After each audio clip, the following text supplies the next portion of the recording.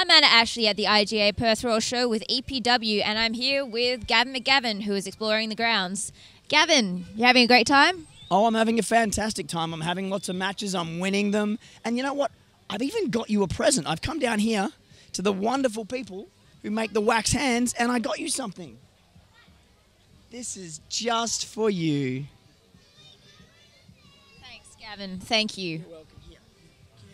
Cost me a lot of money. Have a great show, everyone.